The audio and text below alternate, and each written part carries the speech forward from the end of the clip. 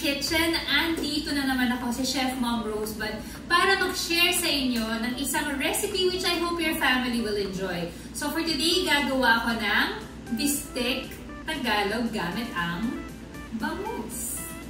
Dito na tayo! Okay, luto na tayo. So first thing, Editin na natin yung ating pot. Lagyan na natin ng mantika. Okay, so pwede kayong gumamit ng vegetable oil. You can use corn oil, canola oil, pwede yan.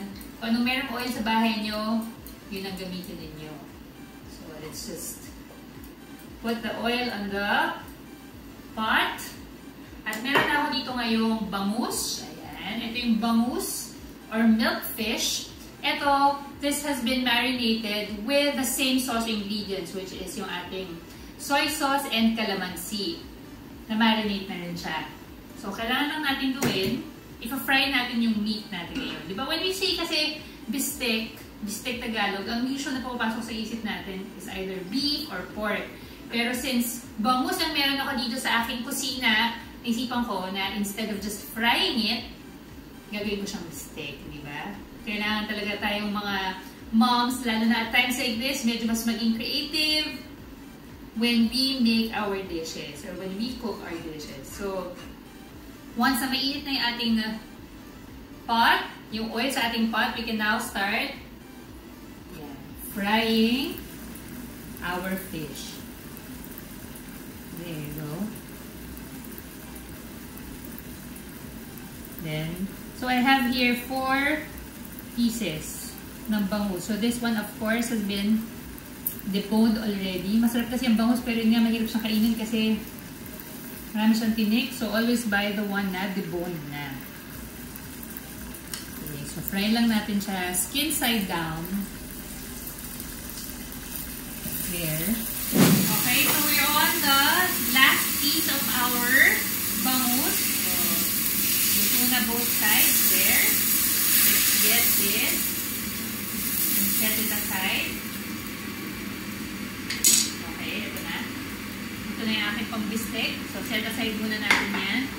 Then, let's lower the heat and add a little bit more of the oil. Yan lang natin, ha?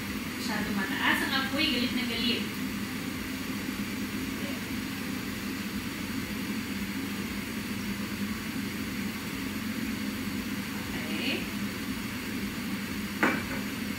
we're gonna be adding our white onion sa ating pan. Sa ating pot. So, pwede kayo gumamit ng white onions, pwede din naman red onions. Yung ating white onions, mas sweeter in case na as compared sa white.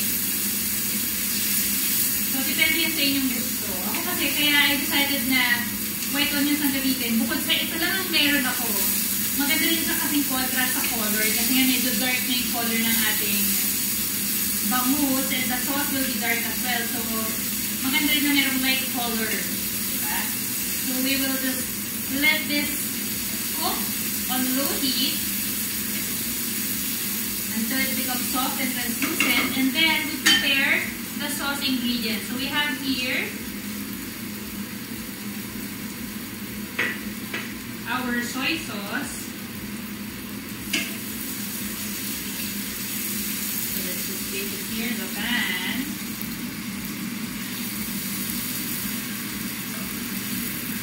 Okay, and then we have so, meron tayo cornstarch and water. So, let's mix the cornstarch into our water. So, ang ginagawa ko dito ngayon yung slurry. O, ito yung pampalapot. So, let's just mix it. until wala na kayong makitang lumps. Na-dissolve na yung ating cornstarch sa water. There. Okay na. And then we'll slowly add it to our pan. So mix lang natin. So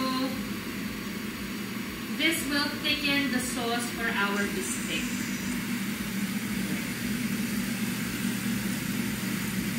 So you just add gradually. Kasi baka naman mamaya pag sobrang daming nalagay nyo, patayin ko muna ha, maingay.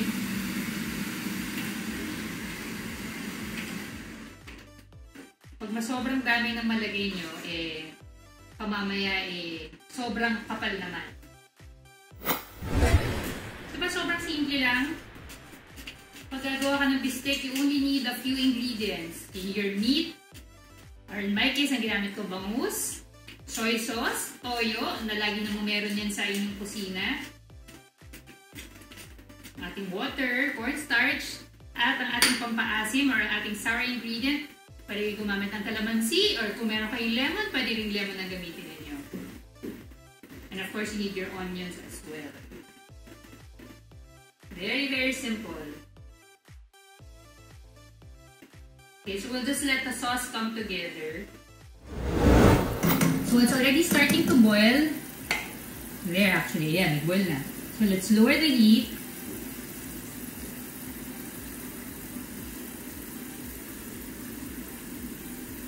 Okay, and we'll add in our ayan, calamansi juice.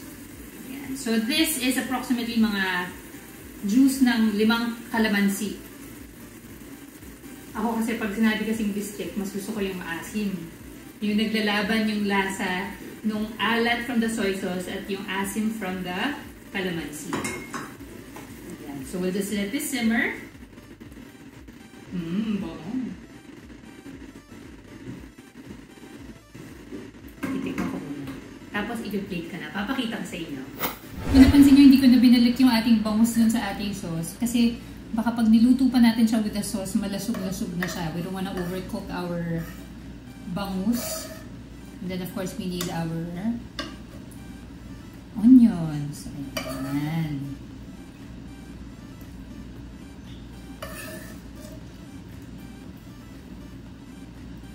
There you go.